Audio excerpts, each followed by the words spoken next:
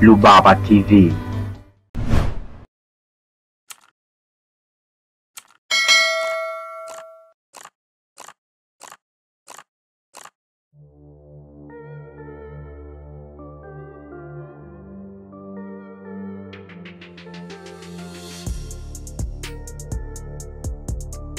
Hello, it's another good day that we meet here, and it has been a while since we didn't have this session, and this is because there are some reasons which were beyond my abilities. But good enough, we are back and we'll continue to have this session, and we'll have a lot of topics which will make you learn a lot and know more about pig farming and the way you can do it in a profitable way. And today, I want to talk about on piglet management, so you get to know many things concerning piglet management, how you should keep your pig things you should consider, and other important things that you should know. And if you have not yet subscribed, I would like to remind you to subscribe and hit the bell so as to be the member of our family. But it's better to share with your friends and family so as they can also learn and know more about this topic of today. But also, I would like to hear something from you. If you have learned new things, better tell us. And if you have something to share with us, it's also better to tell us. So just comment there down and at the right time I will answer your comments and I will share my knowledge. right guys to go together till the end of this today's session.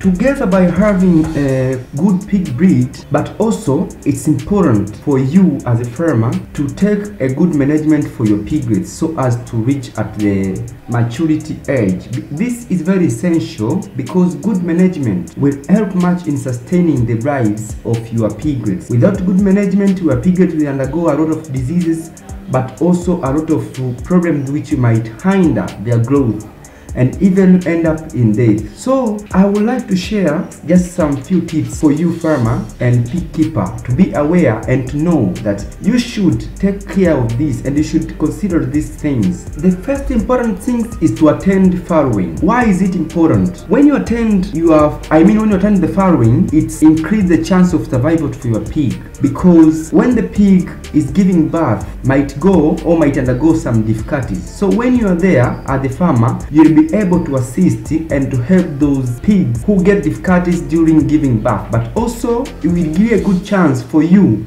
to take good care of those piglets which have been born yet and they have nothing to know concerning this earth. So you have to give them good care. When you're there, when you attend, it will be a good starting point. And the second important thing is colostrum intake. This is very important. When you talk about colostrum, I mean it's a first milk which is produced by the mother. So a piglet is must get this first milk because it contains and it's rich in some disease prevention immunoglobulin. So when the piglet lack this, it means it will undergo a lot of diseases and for sure it will not reach anywhere it will die because these immunoglobulins essential for disease prevention will be lacking. So any disease which comes will just penetrate and reach inside the piglet body. So it's important to provide.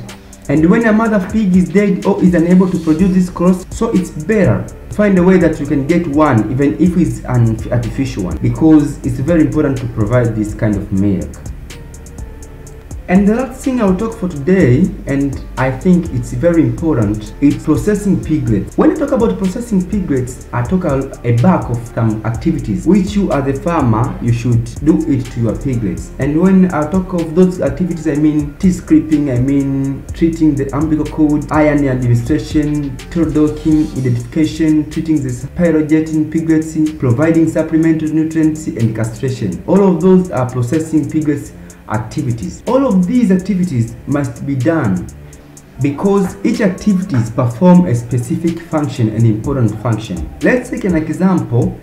Castration in pig it's very important because it reduces or it control the breeding behavior of your pig. And when we talk about teeth clipping, it's also important because it reduces the risks which might be produced with the pig with the long teeth. So you must do teeth clipping. And all of the above and all the mentioned before, they also play a specific functions. And I will find a session where I will be talking each separately. For example, we talk on teeth clipping, I will talk on castration, so as to give you a good chance and a good opportunity for you to learn each each management and each practice which I have mentioned here and how role it is is it playing. If it's important you know and if it's not important you will know. And for sure hope you have learned something. And for today let's end up here. If you have question or anything to share don't hide just just comment that down and I will answer. This is Imani Rubaba and this is Rubaba TV till next time. Thank you